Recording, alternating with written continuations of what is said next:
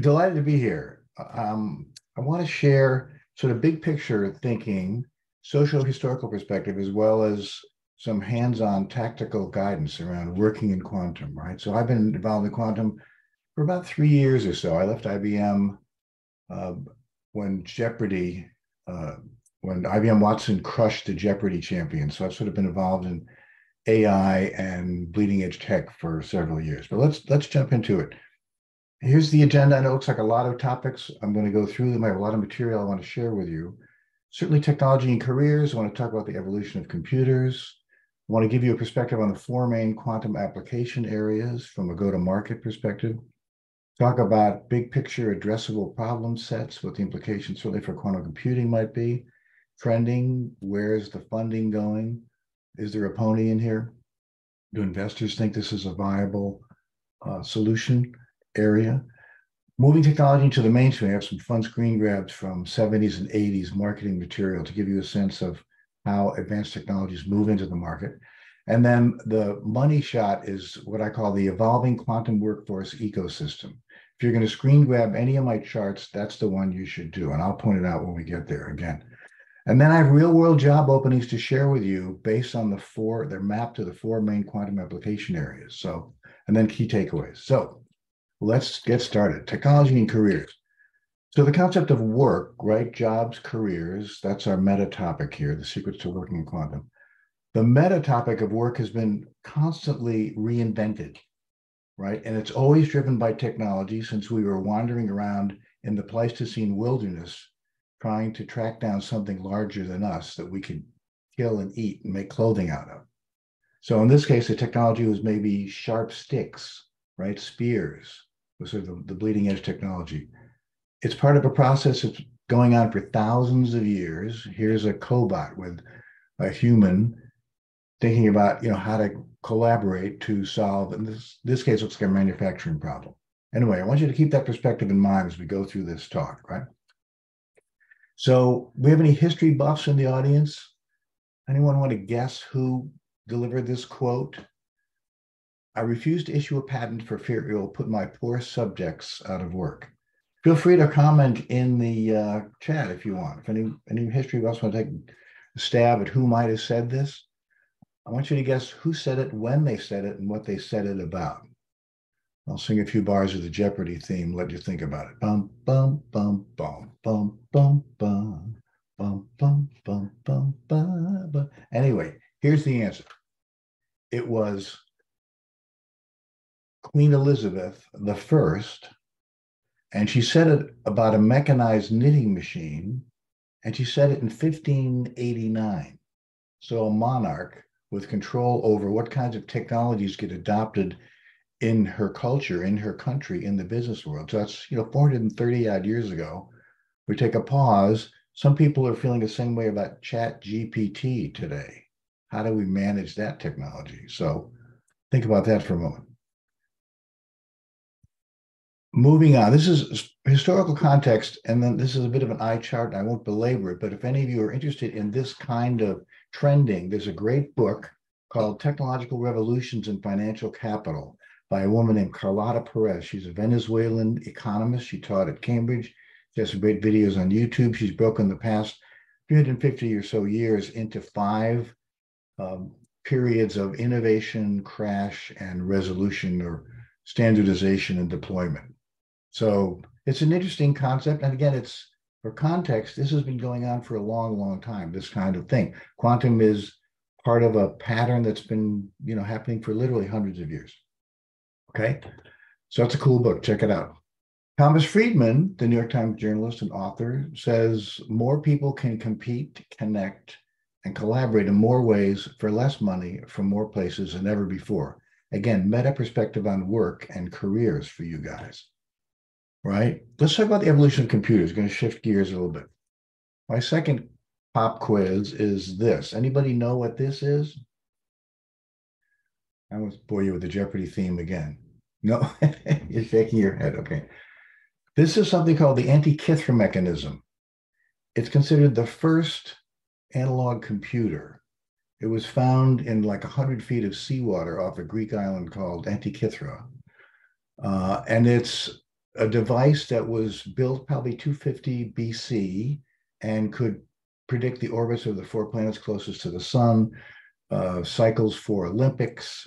Um, it could uh, determine, you know, when solar eclipses were happening. There's a cool video on YouTube, actually. Some British scientists, based on X-rays, built a version of this. They think, you know, what it might have looked like, how it might have functioned. So anyway, again, for context, the first computer, if you will, um, analog, you know, computing device looked like this. And it's, you know, 2,500 years old almost. So let's talk more recently about the evolution of computers. So 1820s 18 to 1940s, mechanical devices, then vacuum tubes, then transistors and uh, integrated circuits. And then today we're in sort of the quantum state era, if you will. So let's talk about mechanical devices, again, in the context of humans creating machines that help us think better and solve problems. I was in London a couple of weeks ago at the Economist Commercializing Quantum event and made a pilgrimage to admire this. This is the difference engine number two. It was a device that was designed by a British inventor and mathematician, Charles Babbage. He designed it in 1847 to can add and subtract numbers up to 31 digits by turning a crank on the side. It's eight columns of stainless steel and brass uh, discs, if you will, that rotate to do the math. And it's quite a remarkable piece of equipment. And again, presages, predates the kinds of quantum computing solutions we're developing today. Historical perspective, right?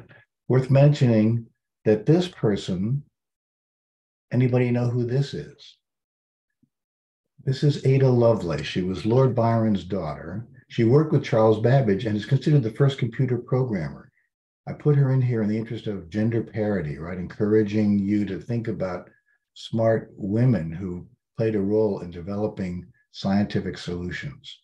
She's considered the first sort of programmer, if. She wrote notes about how to use Babbage's later device, an analytical engine, to solve uh, mathematical problems. Pretty, pretty interesting. I'd look her up. If you don't know about her, you should investigate her. Uh, let's talk vacuum tubes. So with the first triode vacuum tube, the Audion, this is what it looked like, uh, 1907. It led to this, which is ENIAC, the first programmable electronic general purpose computer used to calculate ballistic trajectories, among other things. Uh, you programmed it by patching and unpatching these cords right in and out of these bays uh, took up an entire room, but it was a breakthrough, right? It was a technological marvel at the time, 1945. Fast forward 1950s, transistors. This is the first transistor at Bell Labs, Bardeen and Brattain, 1947. Then Intel creating integrated circuits, 1971. Again, predating, presaging our modern technology led to, among other things, this, the IBM personal computer you know, 40 odd years ago in 1981. This was, again, a remarkable breakthrough. Oh my goodness, you can have a computer that fits on your desk that you can work on at home or in your office. Remarkable. What an amazing thing. So nowadays, you wear it on your wrist, right? Apple Watch and Google Watches. And I mean, you have more technology on your wrist than ENIAC brought to bear in 1945. So remarkable. Nowadays, we're sort of in the quantum state era, if you will. And these are some screenshots to give you a sense that quantum is a constellation, right? It's not one thing. It's like saying, what is biology? Well, it's lots of different applications and solutions based on quantum mechanics, quantum physics for sure. But so superconducting uh, quantum computer on the right, uh, trapped ions on the left, uh, cold atoms on the bottom there an image representing quantum networks on the lower left, and in the middle, quantum sensors that are being used in all kinds of applications from looking for diamonds and gold and oil to medical applications. And we'll talk about that in a little, little bit. Let's talk about the four main quantum application areas in terms of work, in terms of where you might get a job, where you might have a career. There are lots of ways to slice and dice quantum information science. Hardware software services is certainly an approach, but these are the main go to market uh, application areas. That's why I've called these out. The implication being these are areas where you might work, where you might have a career, right? Certainly quantum computing, which is the darling of the press, it gets all the limelight, if you will. But clocks and sensors, which have been around for like 50 odd years, certainly atomic clocks, which are quantum devices, uh, are being used in really interesting, innovative ways.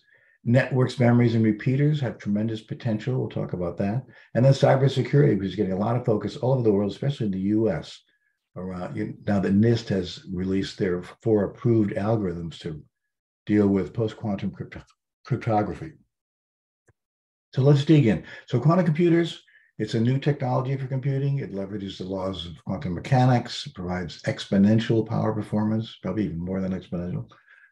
Uh, it enables completely new computing capabilities. These are some screenshots of what some of these quantum computers look like. There are multiple modalities, obviously, seven or so qubit modalities alone. Uh, worth mentioning quantum supremacy in this context. So, quantum advantage and quantum supremacy. In 2019, Google's Sycamore quantum computer performed a calculation in 200 seconds that a classical computer would have required 10,000 years to complete. Now, to be fair, IBM immediately refuted and said, "Oh, well, our superconducting, uh, you know, su- supercomputer could have done it in two and a half days." But the implication being, any situation where you're capturing, collecting, rationalizing, manipulating data, this has tremendous implications broadly, right? We're probably going to get to quantum advantage um, before we get to quantum supremacy. And the idea also is that they'll be co-located, right? It's not like quantum computers are going to replace, do everything that a classical computer could do, but only better. So we'll talk about that in more detail in a moment. Quantum sensors, it's a new generation using quantum systems. It's orders of magnitude more sensitive than classical sensors. Uh, again, the screen grab is showing a, a, group looking for, using quantum sensors, looking for gold underground, right? Use cases include uh, monitoring subtle gravitational changes, looking for natural resources under the earth, much more detailed cardiac imaging for a specific sample, and then more uh, powerful brain scans.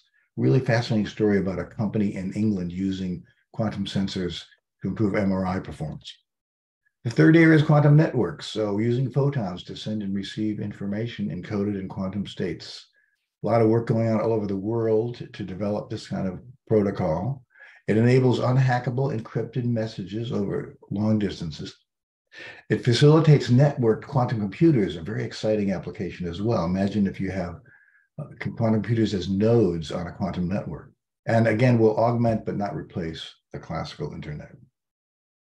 And finally, quantum cybersecurity, PQC, post quantum cryptography, right? At some point, we're going to reach what some people call Y2Q, where quantum computers are going to be able to break the current RSA and ECC encryption protocols. It's going to have huge implications for financial services companies, for national security, um, health, you know, research data, all going to be at risk. There are lots of companies now focused on what they call the harvest now, decrypt later challenge. Companies and hackers and non-state actors stealing data from companies or organizations that they plan to later, you know, decrypt and use for ransomware attacks or sell to competitors. Could be you know, military secrets, could be healthcare data. So PQC getting a lot of focus now. And again, NIST is the main arbiter of what these post-quantum quantum safe algorithms are going to be. And lots of career and job opportunities in these spaces. Let's talk about addressable problem sets. Take a step back and talk sort of more abstractly.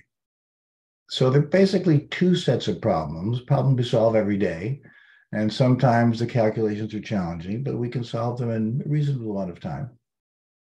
Then there are problems that are so hard, we don't even really bother thinking about them, thinking about solving them. So let me give you some examples. Uh, this, by the way, this is in computational mathematics. These are called NP hard, these problems, right? Non-deterministic polynomial time hardness. It's like, we can never figure that out. So why would we bother? But quantum computing, especially, gives us the potential, poses the option perhaps to solve some of these problems. Some examples optimization. So, this is a classic, the traveling salesman problem, one of the most intensely studied problems in optimization, formulated in the 30s. basically describes how a salesperson that needs to find the optimal route around Europe might do that. So with 15 cities, you've got around 43 billion possible routes. If you add five more cities, you then have 121 quadrillion possible routes.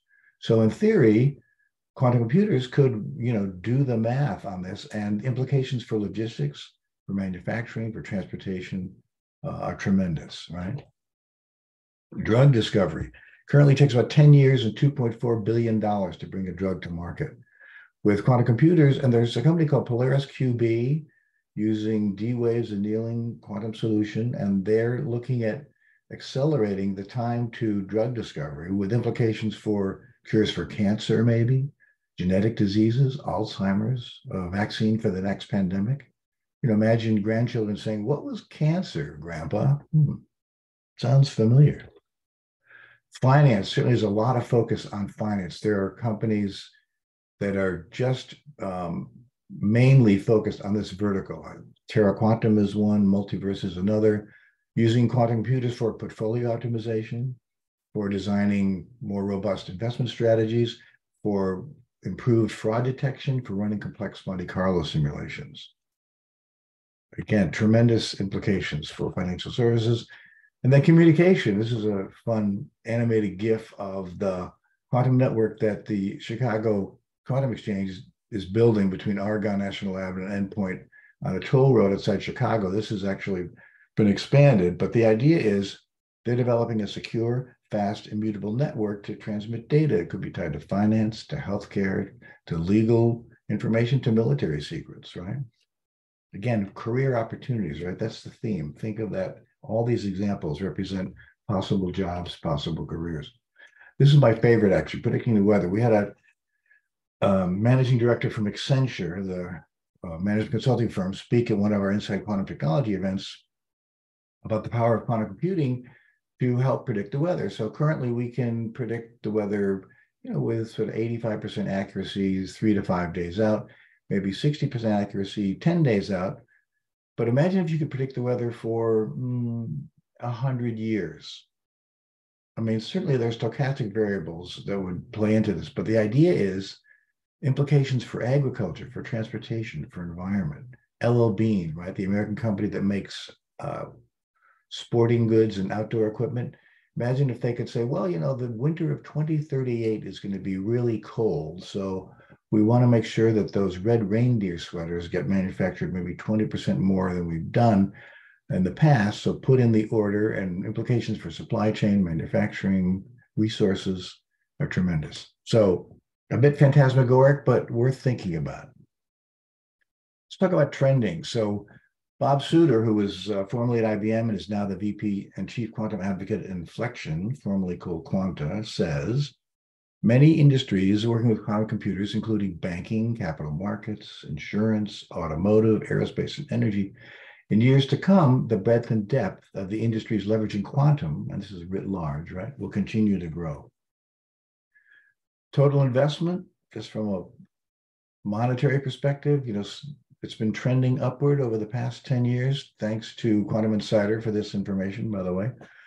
They say, you know, $59 million invested in 2012, now 2.1 billion in 2022 last year. Number of deals went from 11 in 2012 to 79 in 2022 and it's a worldwide effort. So basically, no matter where you sit on the planet, there's something going on with quantum, and it ranges from comparatively small amount, six million in Thailand, to China, which is the leading investor in quantum, according to our data. It's fifteen billion dollars target on developing quantum information science technologies. And as you can see, it's a range, but it's all over. Again, career implications, and a lot of these jobs related to these funded efforts uh, can be done remotely. So big focus, big investment, big career opportunities. Again, a bit of an eye chart, but I want to share with you potential employers, right? These are all companies that are working in quantum information science that need smart people like you. So worth pointing out the, the QPUs, right? This is a call out around current qubit modalities, superconducting, IBM Rigetti, quantum circuits, but then other approaches, other modalities, ion traps, neutral atoms, silicon, photonics. There are other, EeroQ is electrons on helium, really interesting approach, quantum brilliance, nitrogen vacancy, and diamonds. But again, all these ancillary and adjacent companies, cryogenics, building test benches and dil fridges, lasers, um, and then application software. So again, an eye chart, but to get you excited that there's a lot of opportunity, a lot of companies focus on this technology, which translates to possible careers and jobs.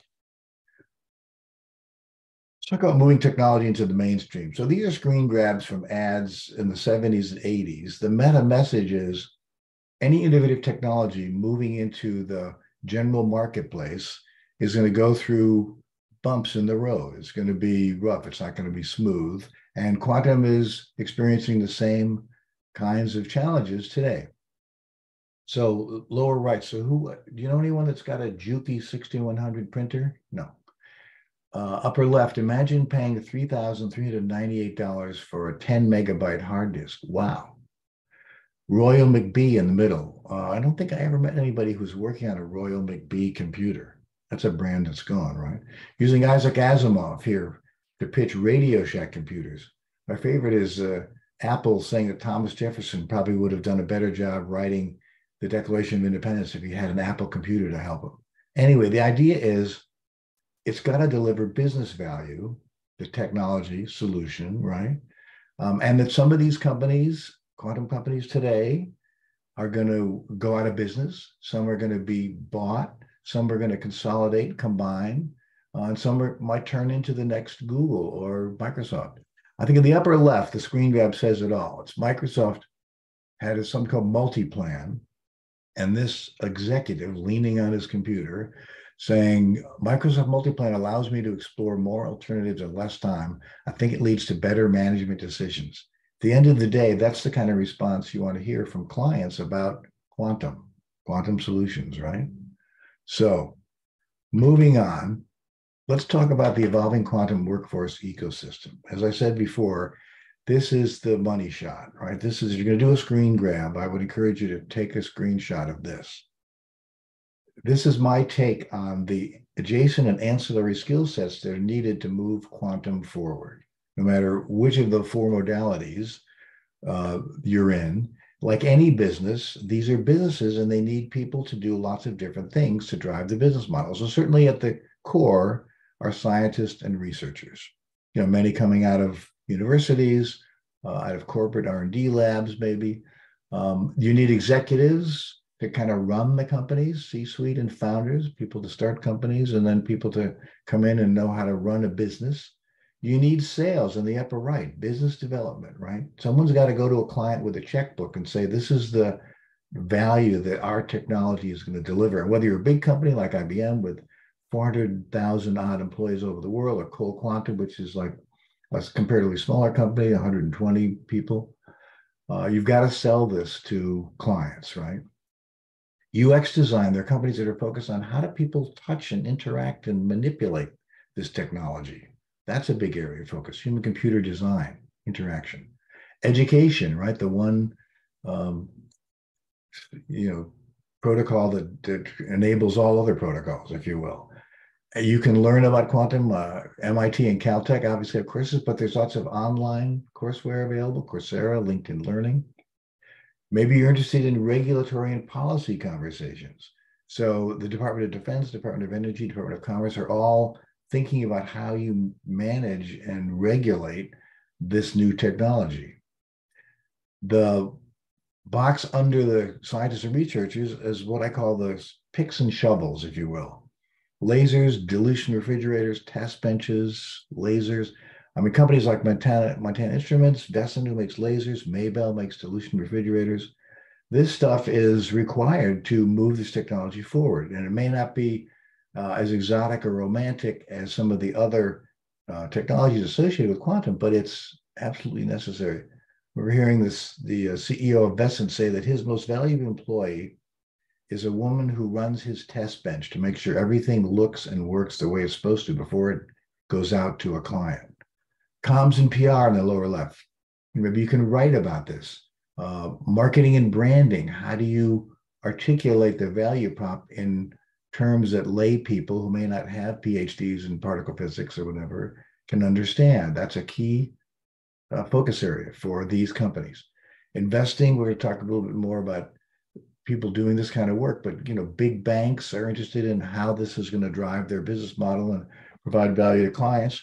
And then strategy consulting, management consulting firms like McKinsey, Accenture, EY, BCG, KPMG, Bain, on and on.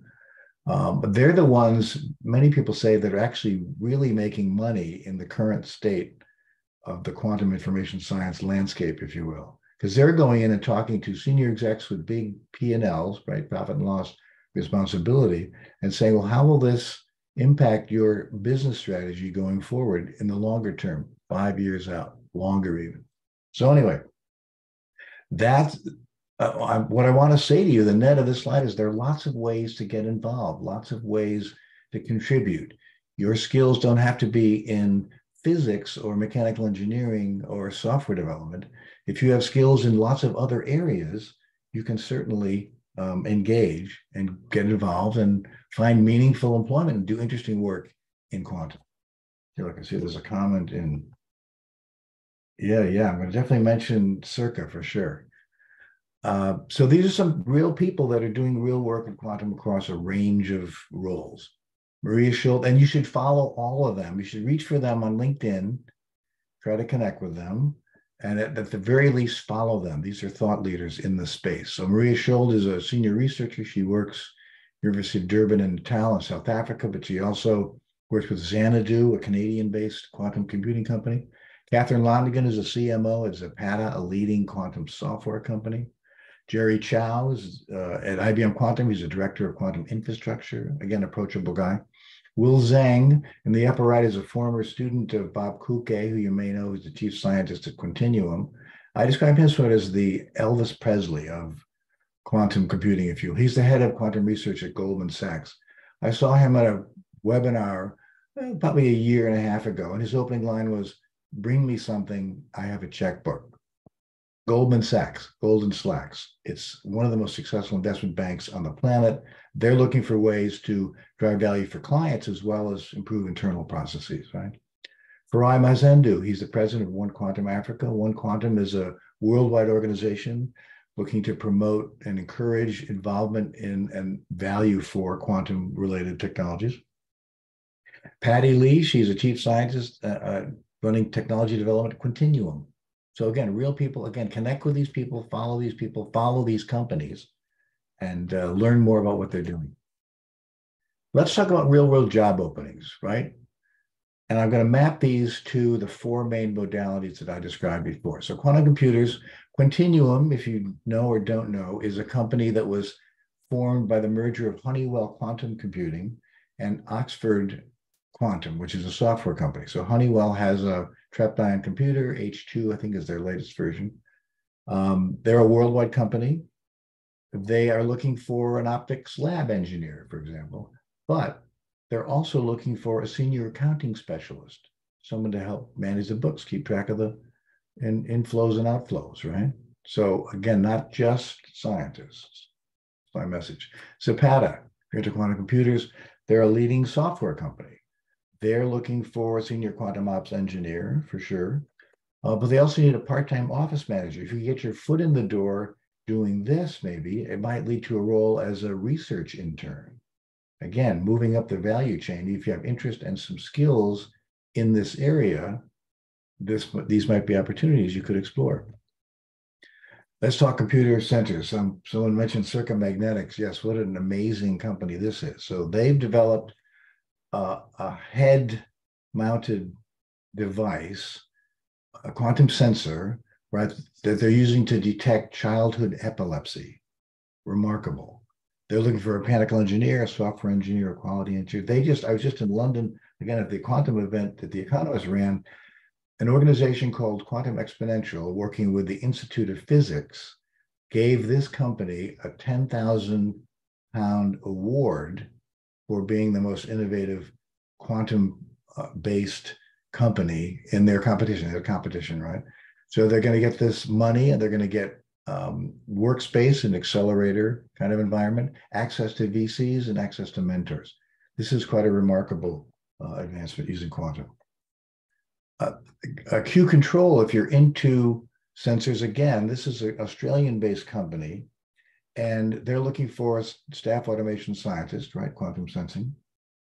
Um, they're also looking for a senior program manager, proposals and contracts, right? So this is an area that I don't think gets a lot of attention, but in quantum, you still need people to run programs who can deal with a client and a budget and a deliverable, get something out the door, built, tested, and delivered, you know, on time and on budget. This company just won a contract, it's a while ago now, but they won a contract from the Australian government to build quantum-based sensors for the moon to Mars supply chain. So think about that, the space economy. That's a pretty interesting application for quantum sensors if you're into this kind of uh, technology. Talk about quantum networks. Again, lots of companies exploring this space. Qunnect is a company based in New York. They're in the Brooklyn Navy Yard. They're building out a quantum network using existing fiber provided by Verizon. They have opportunities. They're looking for an optomechanical engineer, quantum optics laboratory assistant. Uh, you should follow them. Eden Figueroa is a professor at SUNY Stony Brook, leading these efforts along with Noel Goddard. She's the CEO. Uh, quite an interesting company doing great work. And again, just one example of quantum network application. Maybe you're into quantum cybersecurity. A company called Qrypt, also based in New York, uh, is looking for talented people, full stack engineers, a product owner, again, not just science, but someone to take this to market and help with product development. So, and these are just examples of where there's opportunity in these four modalities, if you will, in quantum. I want to end with this, my favorite. Rigetti is a superconducting quantum company uh, based in California. They're looking for, you know, roles in with science training, science background, quantum test engineer. But this is my favorite, and I've never seen anything like this before. They call this the future open position. So what this is is they're looking for smart, talented, interested, passionate people who might want to work in quantum. And what they want you to do is post your resume so that if and when they need someone with your skills, they know how to get a hold of you. Maybe they get a new order for 100,000 widgets. They have a new partnership. They get a new funding round. They have an executive hire that changes the portfolio, changes the direction of the company. They want to know how to get a hold of you if you have skills they might use to drive the business model. So I would encourage all of you interested to immediately go to the Rigetti career page and post your resume in this future open position area. So that's a lot of data. Key takeaways. Quantum information science is a growing field. There are many opportunities and more emerging and across different disciplines and certainly different verticals. Um, get ready to work in different settings and different roles. You know, you may join as a as a researcher and find yourself in a business development role. or Join as a UX designer and find you're doing comms and PR. Be prepared to move from discipline to discipline within the quantum environment. Keep learning, keep exploring. And the final point is network, network, network, right? An adage that's oft described as showbiz, but is true today in every business, and especially in quantum, is it's not what you know, it's who you know. So build your network, there's lots of interesting conversations going on around quantum on LinkedIn, in Medium, Substack. Lots of really interesting, smart people carrying on conversations around what this technology is and what it can do. So, a little um, unabashed self promotion. I host something called the Quantum Tech Pod, where I interview C suite execs at leading quantum companies. I'm about to publish my 50th episode. I can put the URL in the chat. Uh, I also host something called office hours for the Quantum Economic Development Consortium. Uh, we do this program on the last Thursday of the month.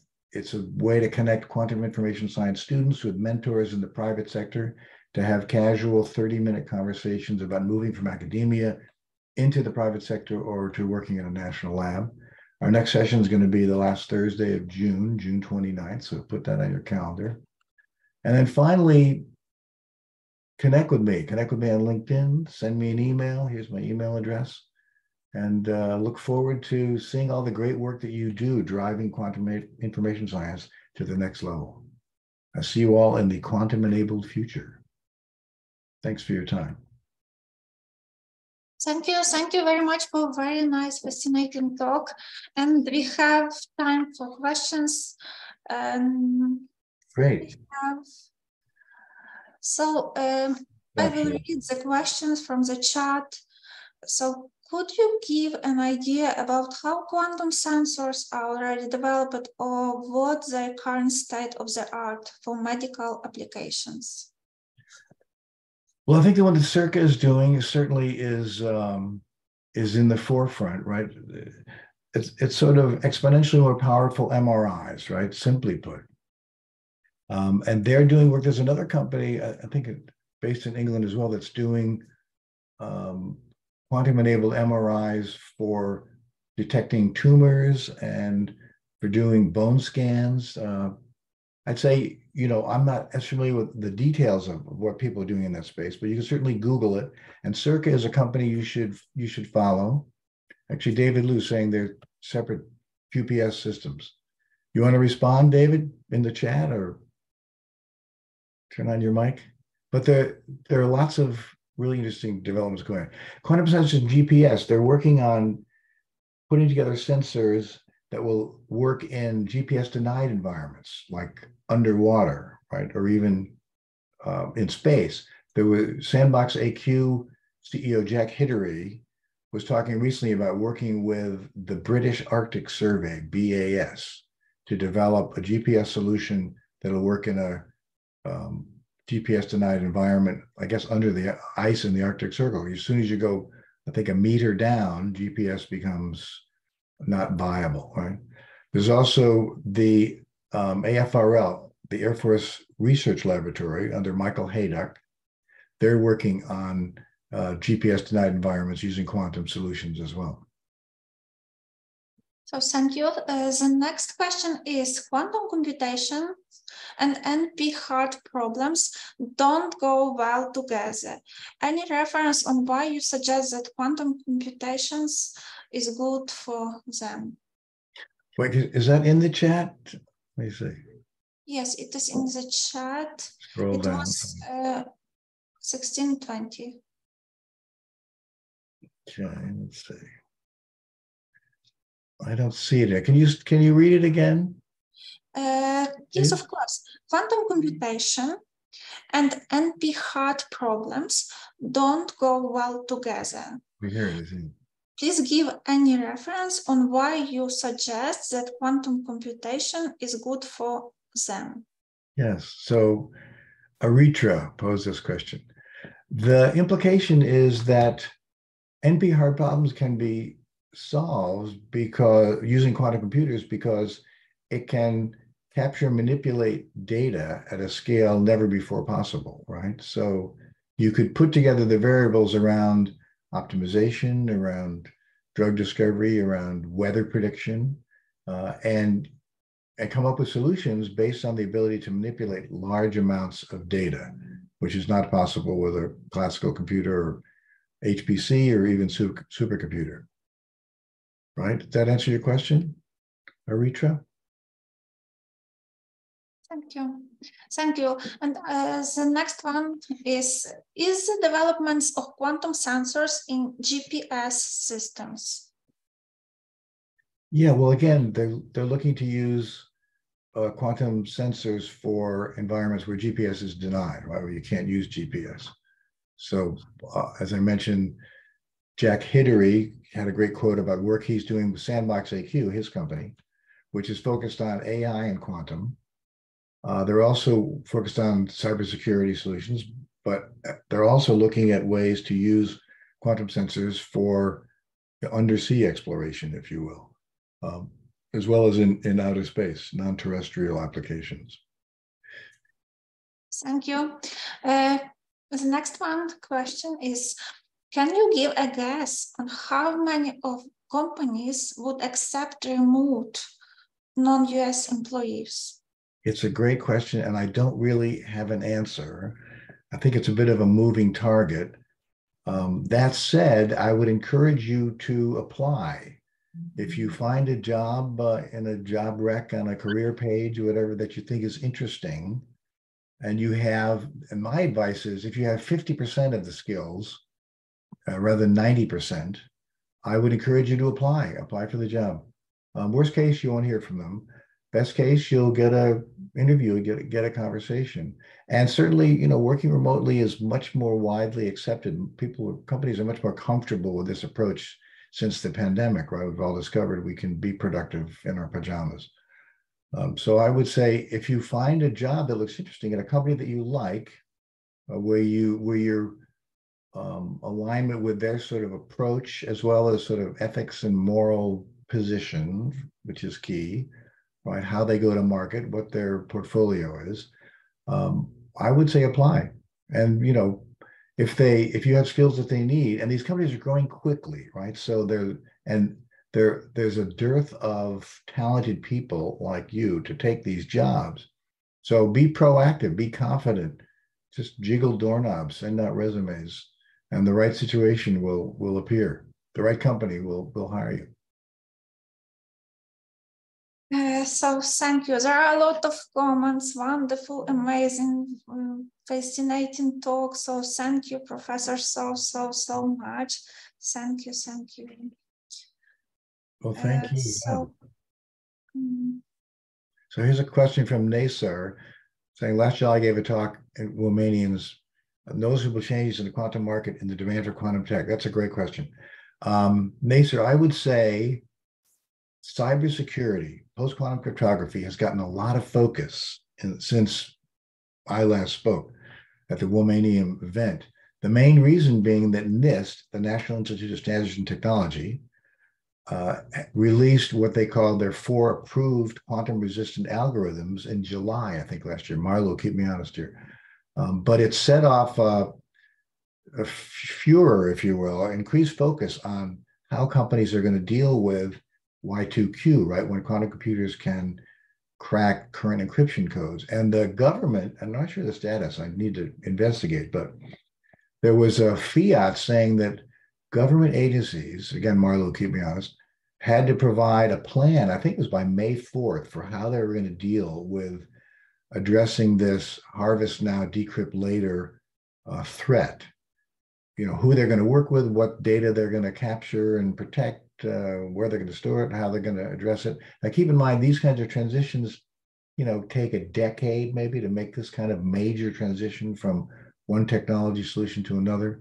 But there's a lot of focus on that. So I would say the net net, that's a long answer, but the net net is if you're interested in getting involved in quantum and you have interest in skills in cybersecurity or a background in that space, uh, those companies are looking to find smart people, talented employees to hire and bring on board to help address this surge in interest, right? Right, thank you, thank you.